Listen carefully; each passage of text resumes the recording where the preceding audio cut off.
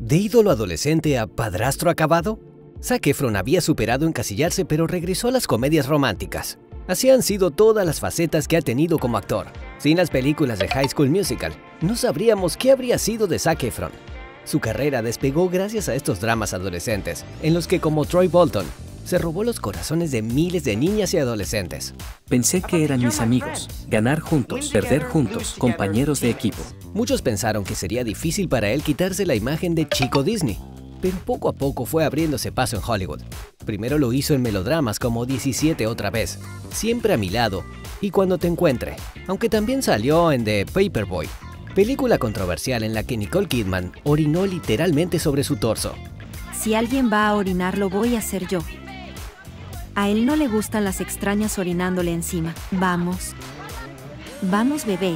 Después fue inevitable que Hollywood aprovechara la edad de Zac Efron para que se graduara de la universidad en el cine. Fue así como en 2014 protagonizó Vecinos, en la que su personaje estaba en una fraternidad y se la pasaba sin camisa y bajo efectos embriagantes la mayor parte del tiempo.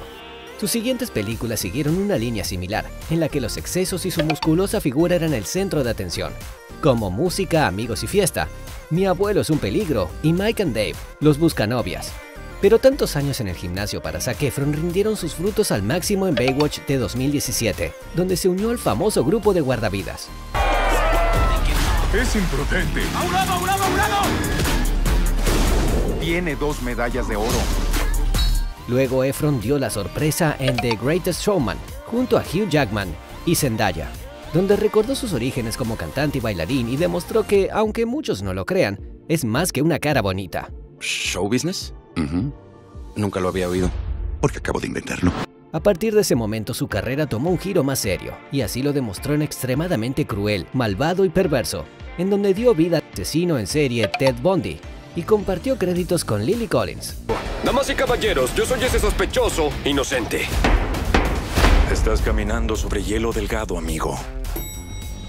De ahí Zac Efron agarró vuelo e hizo El poder de la ambición y Llamas en venganza. Pero donde sorprendió más fue en La Garra de Hierro de 2023, donde con una asombrosa transformación e interpretación, el actor cautivó al público y a la crítica especializada. Tu trabajo es luchar. Cumple con ese trato o terminaremos. Todo apunta a que Efron extrañaba sus orígenes, pues en 2024 estrenó dos proyectos que recuerdan a sus primeras películas, pero con un enfoque más adulto. Por un lado está la comedia Ricky Staniki, junto a John Cena, y por otra parte está Un Asunto Familiar, comedia romántica al lado de Nicole Kidman, donde su personaje termina siendo padrastro de Joey King. ¿Será que su destino es ser el eterno galán de las romcoms, aunque cada vez más los fans critiquen su apariencia? ¿Qué es lo que provocas? Creo que es porque trato de impresionarte y no funciona.